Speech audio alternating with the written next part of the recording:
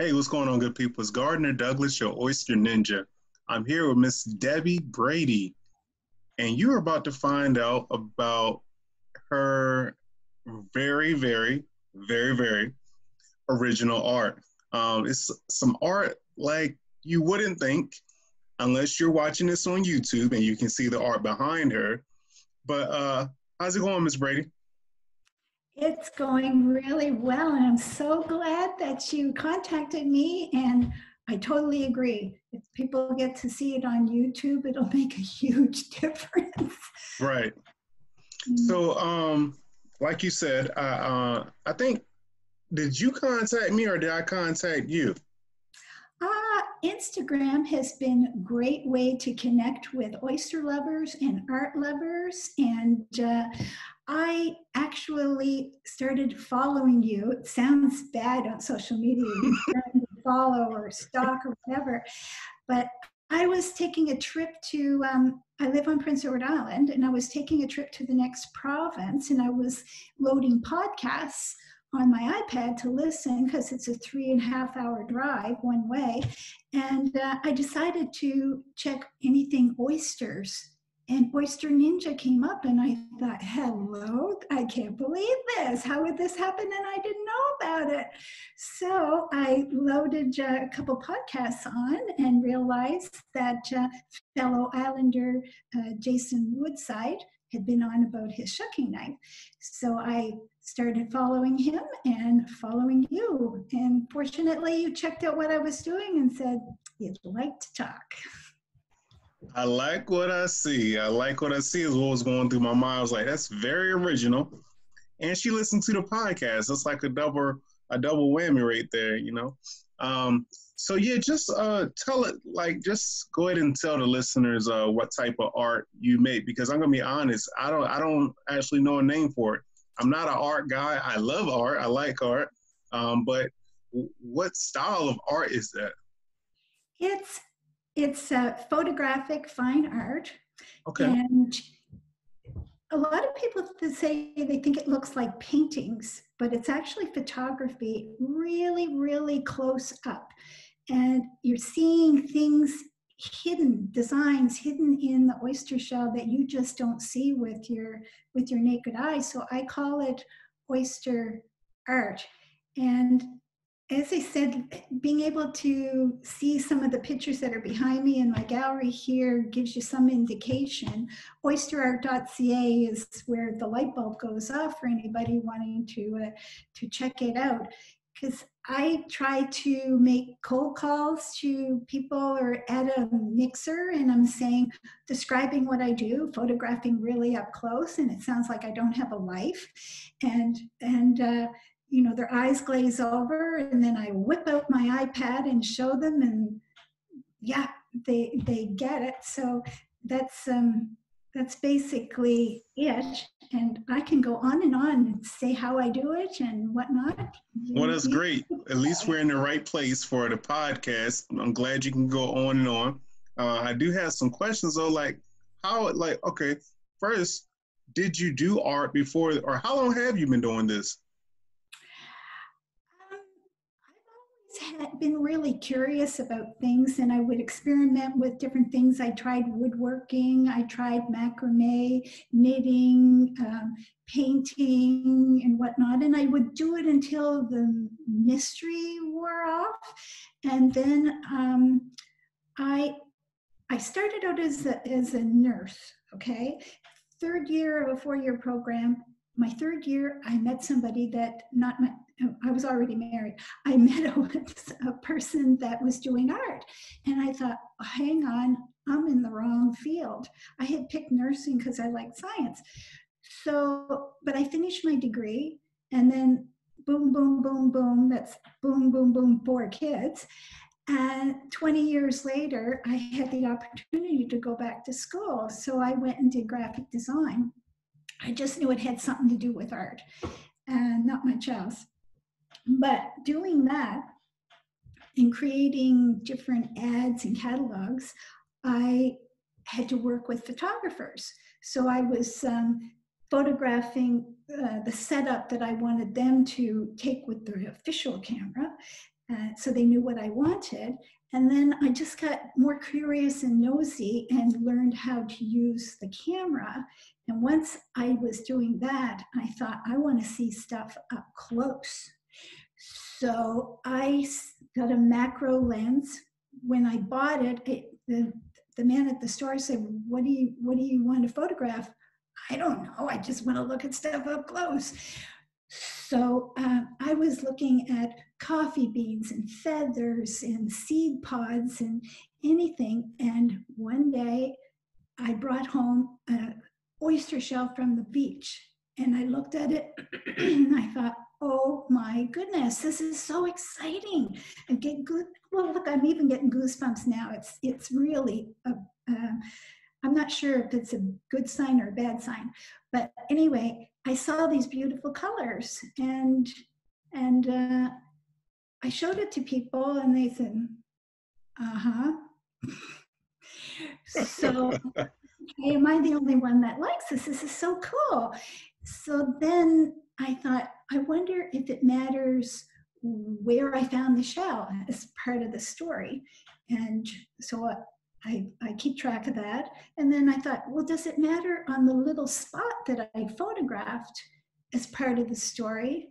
And I would post just the texture on Facebook and still no reaction. and photographer that I saw his work when I was in, in a gallery in Las Vegas, I started like checking him out on the internet and I realized that his pictures were superimposed on walls, right? They weren't really in those rooms because then people could order whatever size they wanted. You don't have to have all that inventory because there's an infinite number of sizes that you can make. So I thought, hang on, I can do that. So I, I put them on, on uh, walls. People said, oh, that would look good over my fireplace. That would look good over my couch. Then it clicked. So um, yeah, that's, does that answer your question? no, it definitely does. Um, well, it didn't tell me how long you did it, but I can definitely tell that, you know, some years went by, uh, four kids later. And uh, no, that, that, that, that does answer my question. What am I talking about? No, but it was three years of thinking about this, thinking, am I the only one that really, that's getting goosebumps over these images? Like, you know, textures, abstracts can be a hard sell. Mm-hmm. Once they went on uh, wall situations, then people say, oh, I would like to have that. And I'm thinking, okay, if perseverance was good. Perfect. So all right. So now you you you've uh, figured it out. You figure out how to sell it, and so what was next? So is it just just finding those uh, seashells and finding the story behind it, or? Um... Oh, I wish I could show you these four big boxes I have there from 34 different spots on Prince Edward Island alone. And I said you can travel from one end of our province to the other in four hours that I have them all cataloged and collected the shells. Wow. Driven around, got the Aquaculture Alliance map to know where oysters were being farmed. I've driven down some dirt roads and taken a, taken a picture from my dash and I posted it saying there's no water in sight because somehow I've gotten the wrong directions, but discovered a lot of neat things. So um, yeah, I have the, the shells and I haven't looked at them looked at them all, but when I bring them home, be it from a shore or from a restaurant that happens to serve oysters, I'll go in and say, where do you get your oysters from? Do you have any empty shells? So I take those too and uh, whatever I can get. And then I check them over. Um, so I have this puppy. So this goes out to five times magnification. So if I'm looking at something at one to one magnification, if I was looking at a, a coin, that coin would be the only thing that I'm seeing. Right. would be there. So then if I go closer and closer and closer, I'm seeing you know, a whisker or beard, a whisker on some person posing on the coin, uh, so I can get right, right, right in there. And uh, and I say that because well, you've been on my site, and I've say I've, I've photographed a little section, and some people think, oh, you photograph that whole shell, and then you just blown the heck out of that little square. And no, it's just that little square that I'm that I'm photographing. Right. Awesome. Mm. So what's your what's your what's your cleaning process like? Oh, it's very, very intricate. It involves a plastic tub with dish liquid and soaking the shells and then scrubbing them with a vegetable brush because if you leave any of the of the oyster on it, um, it'll come back to haunt you. Right, right. Smell, and then I let them dry, and then I have a, a, a look at them. And what might look interesting with your eye um, when you get the camera on it, it's not, and sometimes it's the most innocuous little spot, and you, and it, oh my goodness, that was that was hiding in there. And that's why I like to have really large prints because nature created that little pattern. And some people say, oh, that looks like a, a galaxy or that looks like a satellite view of the Earth. They're, those are hiding in there. And yeah, they just deserve to be, be really, really big. That, that's that's kind of awesome that you would say something like that because if you really go back to like even just you know atoms and molecules, how they look like, you know, they could look like planets and solar systems, and you know, mm-hmm. just to you know, kind of throw it out there, but just it could be, you know, we we don't know really. Well, I I had a little um, um I had a little display somewhere, and somebody um, visiting from the States, this was last year, looked at it and he said, Oh, those are fractals. And I'd never heard the word. And I said, Is that math or is that science? And he said, A bit of both. And that's what it has to do with. Nature um, creates in miniature simulations of what is in the universe. So, nice. looking at something up close, and then the further you go away, you see that exact same pattern in mm-hmm. other things that's why you see a, a constellation or, yeah, so it's nature's pretty smart.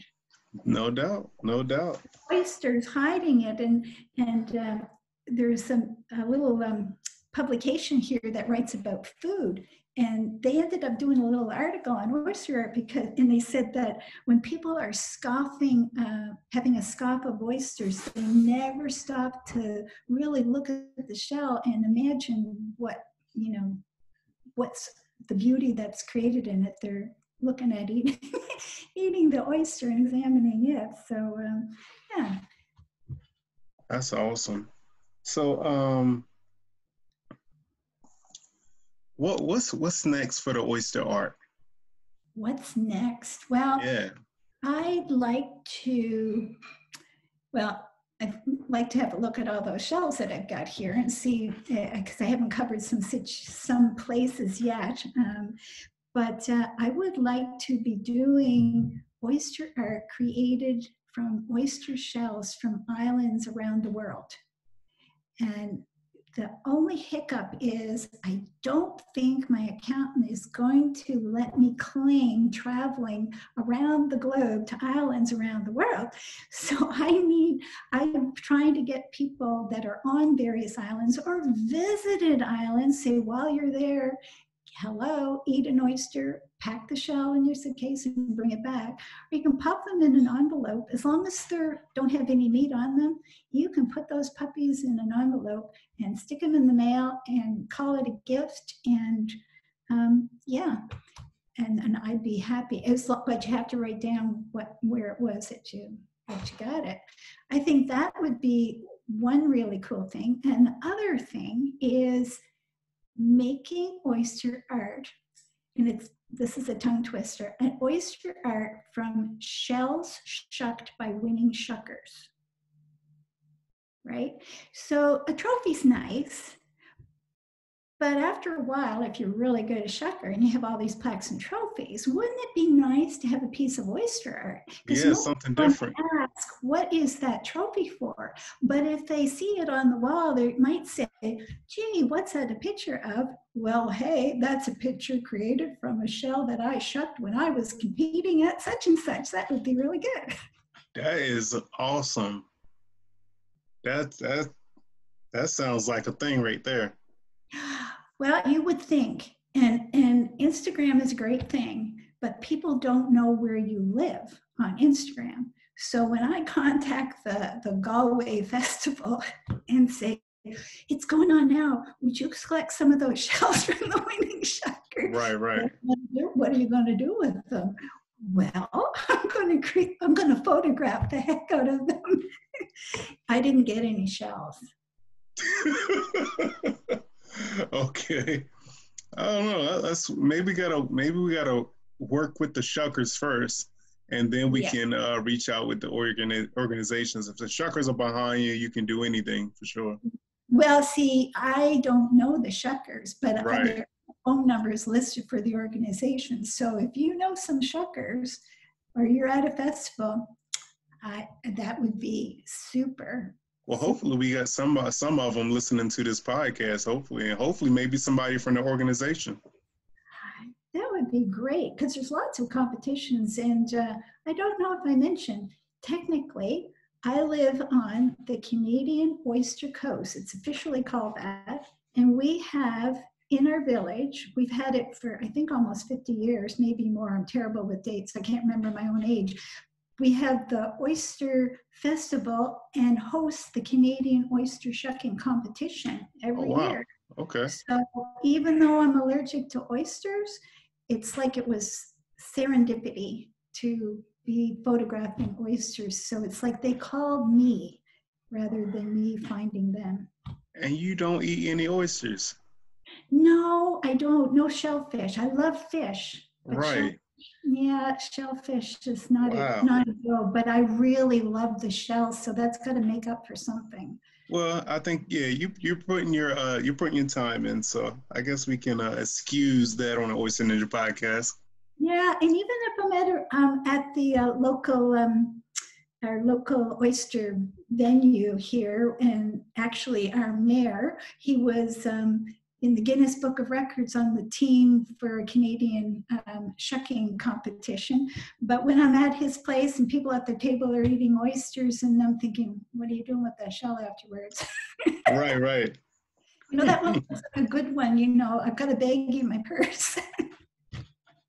That's crazy. So um, hopefully we have we have some listeners that will um, reach out to you and um, donate some oyster shells, maybe.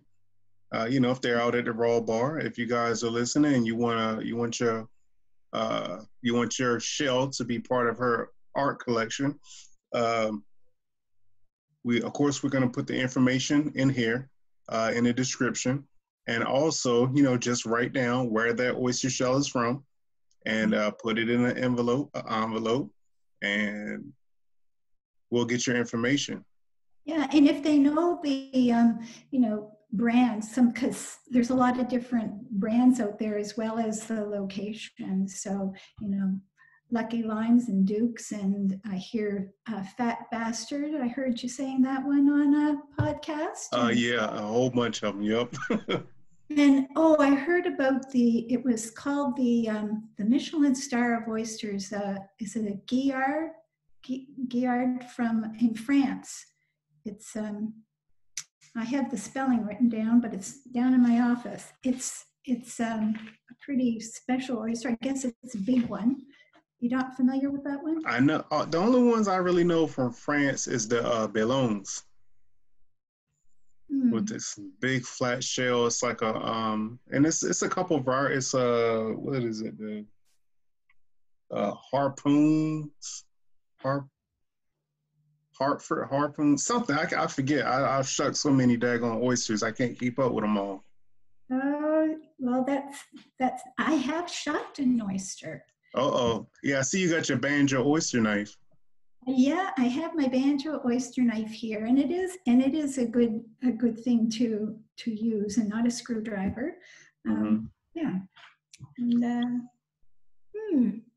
So, for the good listeners, uh, if we don't, if you don't have anything else, where where can we find you and all that?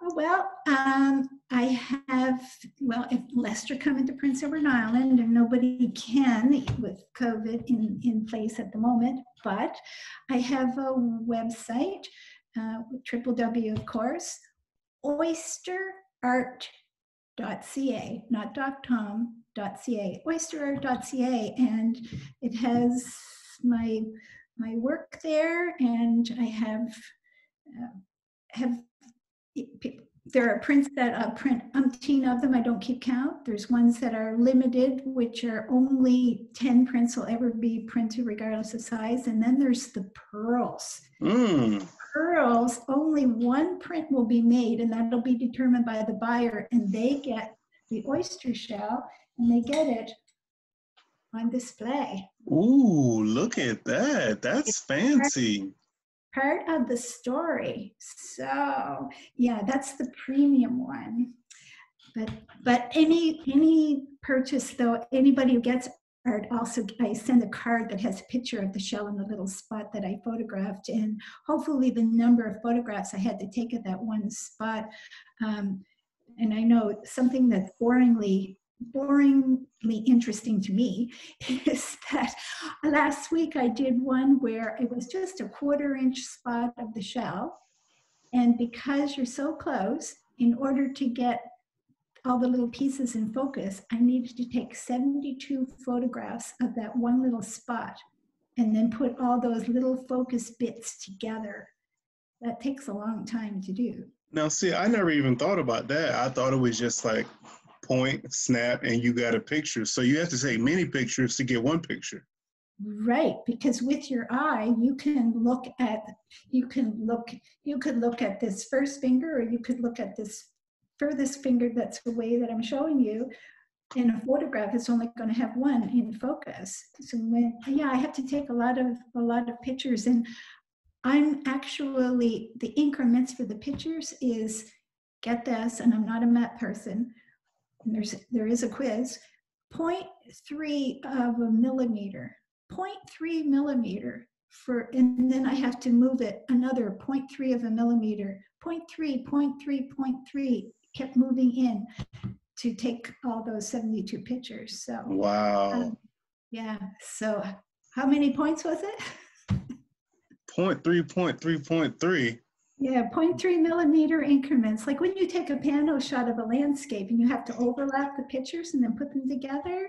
Yeah, so I have to have them in little tiny increments and they have to overlap to get all the things in focus. So yeah, it's work, but you really have to love it. And apparently I do. Right. So how long does a single, I thought we were done, but how long does a single uh, photo take between taking the shots and the editing and Oh, I hmm, I don't know if one could could actually put a time frame on it because because also you have to add in the fact that I have to find the shell, look at the shell, determine if that's a good one, do some compositions and clean it, and then get the composition set up and try various different compositions, and then then do all the multiple multiple shots. And nothing can move in the house. Everything has to be turned off because it any kind of vibration it'll make the picture blurry. So yeah. And then i develop it digitally on on the computer afterwards and that takes hours. My computer sometimes says what? Are you serious? All those pictures? Yeah. So that's what i'm that's what i'm doing gardner. Thanks so much for your time. Um hopefully we can we can uh we can keep following you and uh and follow your art journey. I have a request or a, a rec- suggestion. Anybody okay. that's interested on my website which was oysterart.ca there's a tab up at the top on the far right that says receive exclusives.